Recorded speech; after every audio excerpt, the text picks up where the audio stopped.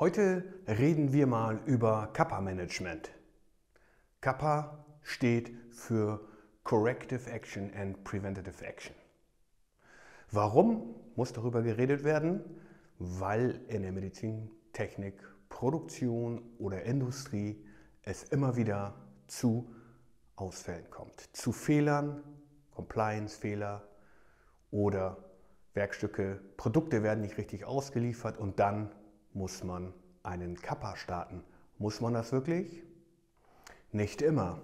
Ein großes Problem ist, dass viele Firmen sofort Kappas starten, obwohl das eventuell gar nicht notwendig ist. Kappa ist sehr gut beschrieben in 13485 in der Norm